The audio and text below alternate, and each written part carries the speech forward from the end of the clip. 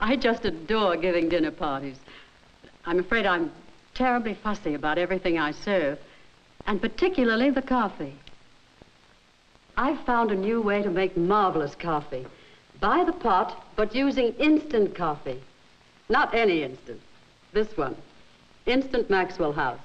It's now so much richer, it makes a really good pot of coffee. It's the only one that has this recipe. A heaping teaspoon for each cup. Cold water to the proper level, then heat it almost to the boiling. And let it steep a few moments to bring out all its flavor. Try it. I promise you, you'll get compliments on your coffee. Instant Maxwell House. Now so much richer in flavor you can make it by the pot. Naturally, coffee this rich tastes better made by the cup, too. Instant Maxwell House. Another fine product of General Foods.